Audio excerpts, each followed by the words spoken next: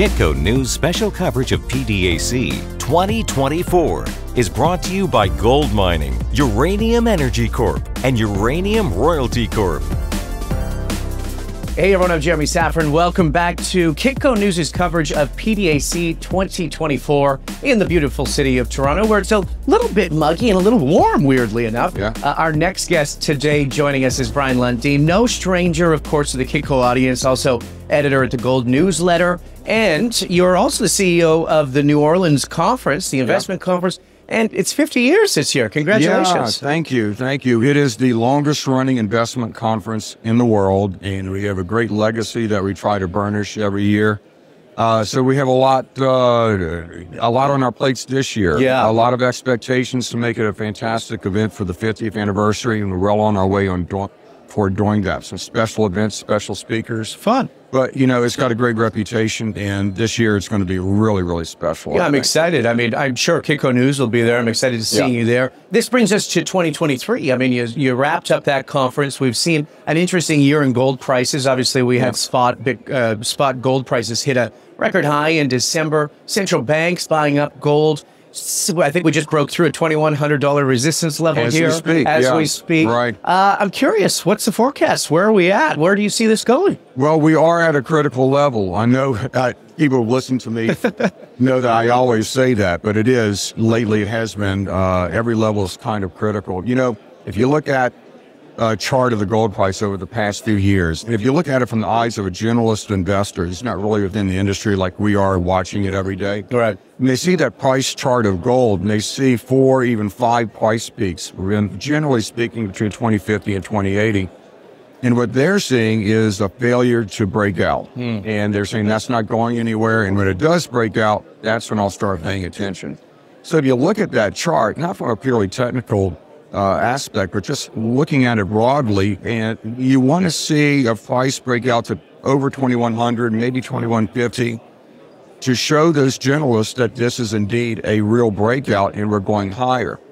And I think that's what we need to start attracting just a little bit of that hot money that's in NVIDIA, Yeah. you know, and the Magnificent Seven and the like. And we don't need to see a stampede of that money into gold and, and precious metals and mining stocks. We just need a thimbleful. Right. Just need to dip a ladle into that huge uh, ocean of liquidity that's in all these hot stocks Yeah. which are in bubbles that could go on a while, but still, smart money is going to start shifting allocations into gold and the market. The whole sector is so much smaller than all of these much larger markets.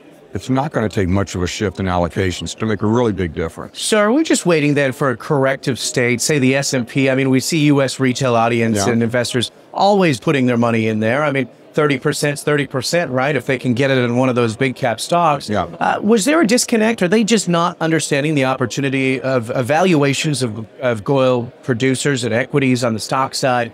Uh, excuse me, gold Yeah, on the miner side. And, you know, the actual gold price today. What's the Yeah. disconnect?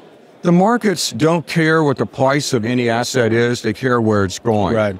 So until again we show that kind of upward momentum, they're not going to shift. Now, unlike a lot of my friends and other analysts in the industry, I don't share the opinion that we have to have a significant correction in the stock market mm-hmm. to get gold moving. The, the the thing people have to realize is that we're at the end of a four decade plus trend of not just easy money, but ever easier money. Right. And what this has done is made all the uh, risk assets addicted to the idea that the Fed is always going to come back with some kind. They're going to backstop the markets.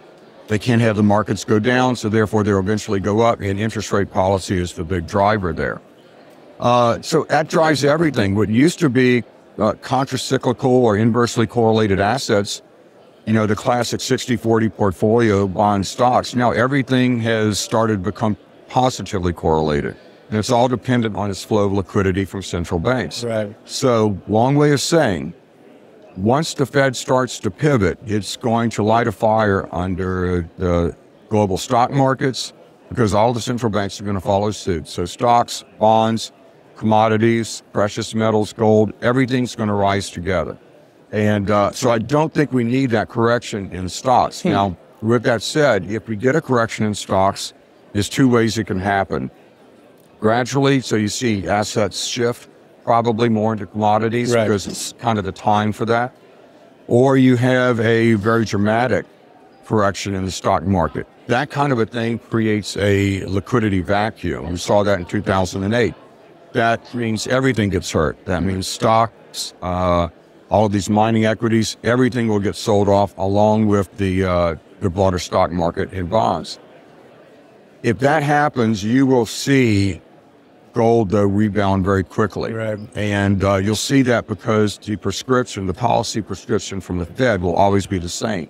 They're going to immediately come in with just a tsunami of liquidity, uh, rescue efforts uh, across the board, like they did in 2008, and they did to an even greater degree post COVID. Yeah, well, let's talk about that because obviously, with all that cash being injected into the economy, we're seeing the effects of it now. We have a huge debt crisis in the Yeah. U.S. Uh, there's so many things happening that in an election year that we haven't even started to decipher. So, what's your forecast for this year? Where do you see uh, that market going in terms of, you know, maybe Trump being in, maybe a Biden? Yeah. Is there any positives for our sentiment inside of commodities? I think it's, frankly, I think it's all positive. Uh, and I think we need to hear that, by the way, because there's still a lot of dour faces Right. at this conference, even though gold has been doing so well.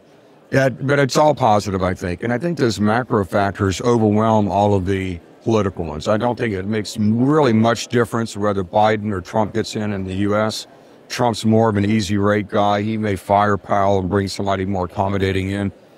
My point is that the Fed and other central banks are going to have to be accommodating regardless, Yeah. because the other thing that happens when you have 40, 40 years plus, four decades of ever easier money, where at interest rates, you see the bottom of the cycles, it's a stair step down to zero. When you have that over decades, that also encourages the accumulation of debts hmm. Because interest rates are always going lower, and that's uh, embedded in the, the, the, the public and investing consciousness.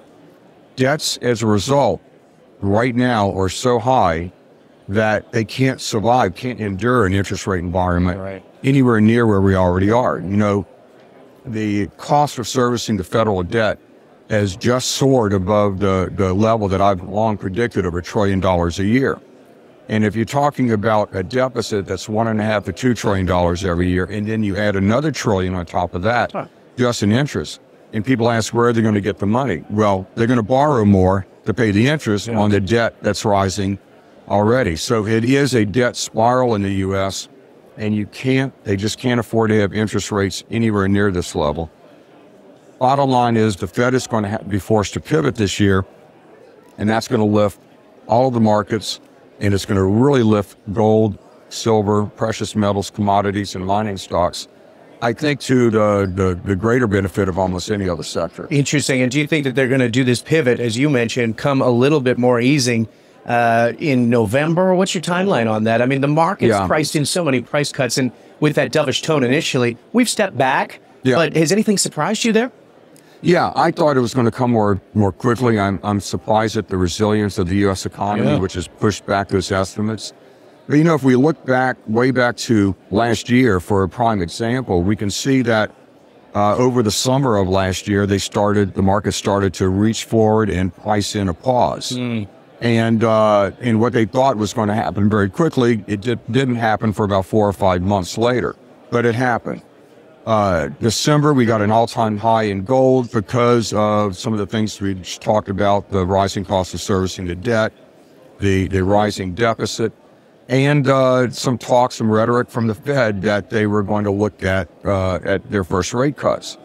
So the market started to really aggressively price that in. Then came January, and the rhetoric shifted, and what was uh, odds-on favorite for a rate cut in March got pushed back to maybe May. Right. And now the odds-on favorite is June, almost assuredly by July. I think June or July, you'll probably see that rate cut. Any further back in the calendar, it's going to look a bit too political with the elections coming in November. Yeah. Uh, so I, I think we're still looking around the summer. But again, it's just a case of the pivot has pushed back four or five months. It's still going to happen. And all the only thing the markets have been arguing over is the timing Yeah. and how many cuts. The big issue is that they are going to cut, and that's going to create tailwinds where before there were very strong headwinds. So where do you think that there's, you know, some weakness? We talked about debt levels inside of the real estate market, for instance, commercial. I mean, it's unsustainable at these high interest rates. So obviously they need to start Yeah. acting on it soon. Are they at the brink? Like, is this more of a disaster than we think it is? Uh, they it depends on how you define the brink. The brink is, I think, some point this year. Okay. Uh, this year, there's uh, a little under one trillion dollars worth of commercial real estate that's going to be repriced, repriced at current rates. So you're talking that instead of two and a half, three and a half percent, they're going to be paying seven and a half, eight and a half, even nine percent, perhaps more, because when those rates, when the, that debt comes to be uh, renewed, the the banks are going to look at not just raising the rate, they're going to look at the underlying collateral, Right. and we can see what's been happening to that in commercial real estate. So that's a potential crisis in itself. That's beyond the the uh, in addition to the the federal debt itself and the cost of servicing that. If you look at corporate debt resets in general, I mean, grossly across all developed countries, just the additional costs, debt servicing costs that are going to be borne at anywhere of these interest rates is equal to the combined economies of Japan and Germany. Again, getting back to the point that the global economy was built on a foundation of ever easier money and even zeroed interest rates, you know, negative yielding sovereign debt even. Uh, so they it just can't handle rates this high. Debts are too large and the leverage to interest rates is too great that the bottom line cost of servicing debt at anything close to normal interest rates is, uh, is, you know, unmanageable. There, is there going to be consolidation inside of this market, in, particularly in the mining sector? Mm-hmm. When we start looking at the cost of capital, it's been so hard for juniors to Yeah. go out and raise money, and a lot of them are really struggling right now. Is there going to be a reset if these commodity prices continue to, you know, on the incline, or are we at the bottom? I, again, I'm I'm uh, pretty optimistic on it. I Yeah. think we're I think we're at the bottom. Uh, you know, I think we what we will get and what has been absent is Western investor, Western speculator investment in the sector. You can look at that from a number of different metrics. You can look at uh, the holdings in GLD, you know, the SPDR Gold ETF. They've been falling off a cliff. Even as gold was reaching for all-time highs in December, it started a decline that's just been really precipitous. If you look at open interest on the COMEX, uh, it's collapsed. And, and yet, if you go over a few years when that open interest has gotten this low, four out of five times, it has immediately presaged a very strong rally in gold. Uh, the only time it didn't, that rally was postponed by about three or four months. So we're in that window, and we may even be seeing it right now. Right. It's a weird market right now. Uh, it has been for the last couple of months because we've had underlying buying that supported the gold price over $2,000 very strongly. That buying has come from central banks, which is kind of surprising and but encouraging. The other place it's come from, weirdly, has been uh, domestic demand in China, Chinese investors. Typically, they buy on price declines. They're bargain hunt, bargain hunter uh, buyers, but they're buying now of gold at all-time high levels. The numbers for the Shanghai Gold Exchange withdrawals in January were the second highest ever, and you can see that it has absolutely soared. That's showing uh, that's evidence of why gold has stayed over 2,000. So the bigger point is if we get Western investors coming into the sector, if we show them the kind of rally that shows that proves an uptrend, which I think we may be doing now, for the really perhaps the first time ever, we're going to have Western buying and Eastern buying and central bank buying all at the same time. I don't know that you can get the the sharpies and the shorts trying to stand in front of that right. uh, or at least not to any great avail. So if this, there's a chance that this rally, because there's so much liquidity in the world, and there's such a powerful case for the metals with the Fed coming up with pivot, that this one could be particularly strong. Hmm.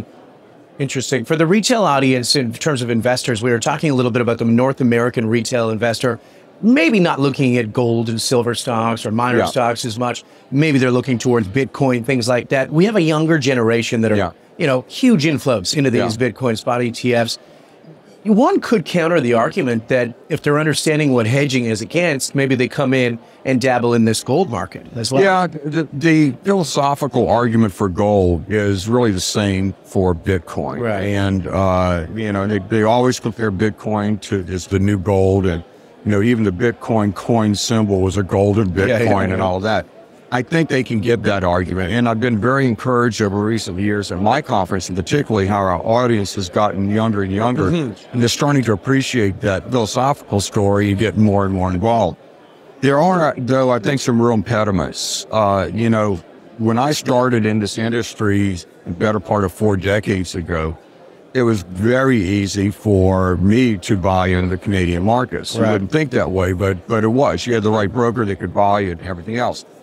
Uh, progressively over the years, it's gotten harder and harder for that to happen, and there only there aren't that many brokers right now that are really able to service uh, U.S. clients in Canadian markets that are able to clear the paper for private place. Take the legends off. And take the legends off, do all that, and and even some of the big ones are starting to say we're not going to. Uh, uh, we're not going to free up any paper for any stock under 50 cents. We're not going to do that. And, and it's starting to get away from that market. A lot of it for liability reasons. Uh, so something really needs to be done there. Um, if, if we're going to have a kind of a market that really benefits from Western investor flows, not just the youth, but across the demographic board, they need to make it easier for them to invest in anything besides the Newmonts, the Barricks, and the like. Right. They need to be able to invest in that sector because that is something, as we know, can really capture the imagination Yeah. of an investing audience. The whole thrill of discovery, the excitement of a of a big drill hole, all of that. Of course. The stuff that's, that's hooked us over the years. Uh, there's a big market out there that would appreciate that kind of uh, investment. We've seen, you know, the same thing in all these other sectors that, that the uh, the Reddit crowd and all of that get involved in. But it just has to be easier. There has to be a mechanism in place. So, you know, I don't know what's happening in that respect. What can happen? Right. I mean, the. Canadian market, too. I mean, we got naked shorts. There's a lot of different issues Yeah, that we have. a here. lot of issues. And then we have volume in the ASX. It's easier for American to go and buy into the Australian Yeah. market. So, Yeah. uh, what can we do about this? Well, yeah, you need to make it uh, easier. You need to get, for instance, uh, uh, TSXV and the Toronto Exchange. You know, get them onto Robinhood and the like, and those trading platforms where where uh, the younger crowd and really any retail investor can invest at least in the market without getting killed on the spreads and the like. Uh, you know, the OTC is is tough because you can get killed on the spreads. Uh, but it's also largely unregulated. And uh, I, I tell people who are new to the area that to, to the sector that if there's a mining stock that's listed in the U.S. on the OTC but not in Canada, uh, don't go there because they're doing that for a reason. They're Yeah. trying to avoid Canadian regulation, which is the best in the world. Because the Canadian exchanges have seen every sort of mining scam that could be perpetu- perpetuated right. over many years, and they regulated against that. So it is uh, a secure area, a relatively safe area for investors to to speculate in, assuming they can take the, the inherent speculative risk. Um, but it's not like that in the U.S., at least on that smaller scale, the, the junior scale of the mining industry. Yeah, it's fascinating. And I mean, there's so many regulatory issues there, too. Uh, let's talk a little bit about silver. What are your projections here? I mean, we're getting into a little bit of a rise. It's slow. Yeah. Some are talking 30 when we get really creative. There's some hoping for 50. Uh, what can we expect to see in that gold ratio to gold? I think it's going to close up, and and uh, the, the fundamental basis for, for my analysis is that it always has before. Yeah. Uh, every time we've had a sustained gold bull market, which means one that's based on monetary issues, uh, like uh, central bank monetary policy, like the Fed pivoting. That's where we're getting into right now. Every time we've had a similar a bull market based on those factors, silver has outperformed gold. So I fully expect it to do so again. Uh, you know, and and significantly so because it's always happened. So you can get leverage to gold with silver, and you can get leverage to silver through silver miners and junior silver miners. So I think that's probably going to be once again the most explosive area. Once we have a convince uh, a convincing uptrend, one that convinces broader mark money to, to come into the market. So once we deal with the macro issues, we deal with the interest rates, we get the election. If this commodities cycle comes, is it going to be longer than it has been in the past? Do you see this one standing for longer? I do, and I hope so. We don't want a uh, you know blow off all the steam very Yeah, quickly. yeah. We want something like the 2000s, where we had seven, eight, even 11 years, depending on how you you slice it, of a sustained bull market, which really builds fortunes in uh, the kinds of companies that are at this conference, where where you know, you have a lot of companies, more companies that go up four, five, even 10 times. But just as importantly, you have a market where even the losers, instead of losing 50 to 80%, Yeah. they double in price. So if you don't lose money and your base investments are rising and you get a few of those really big hits over years and years and they, they, they keep going over and over again, you can really build a lot of wealth. I hope it takes a, an awful long time. If you look at it from a price level, I think there's a very good chance it's going to go a lot higher than people believe. Right. You know, right now, as we speak, we're in uncharted territory. So, how do you project where gold can go? One way is you look at historic bull markets in gold, and there have only really been three, Right. according to my count. You have 1970 to 1974. Uh, the gold price went up about five and a half times. You go 1976 to 1980, it went up, I believe, about eight times. And if you go from 2000 to 2011, about seven times. Uh, the low in this cycle was $1,040. Yeah. So if you say it's going to go up at the end of this cycle, uh, somewhere between six and eight times in value, those are the kinds of numbers that you're looking at in the cycle. And I think that kind of a move is going to take five to 10 years. So I, I think we're entering uh, a truly a secular bull market because of these monetary factors. Debt's so large that we, we have to have negative real interest rates. Yeah. And you talk to some of these junior issuers that, like you said, have a little bit of a sad face. Momentum's coming. It's an optimistic year for the commodity cycle. I, I think it is. You know, attendance looks like it's been pretty good at this event, uh, but still, people, you know, they've been uh, they've been disappointed over and over again, Right, and right. they're kind of waiting for the market to hit them upside the head again with a with a uh, piece of lumber when they just when they get their expectations high. So they're they're still a bit cynical and cautious. Um, well, we have to convince again of those generalist investors to take a look at the sector, and I think that's going to happen this year. Yeah. All about education, especially with those younger ones. Brien Yeah. Uh, I'll see you in New Orleans. Thank you, Great. sir. Thank you. Appreciate you coming on. And thank you for tuning in to Kitco News. Obviously, we'll have more coverage here at PDAC 2024. I'm Jeremy Szafron. Don't forget to go to kitco.com and subscribe to our channel. We'll see you next time. Kitco News special coverage of PDAC 2024 is brought to you by GoldMining, Uranium Energy Corp, and Uranium Royalty Corp.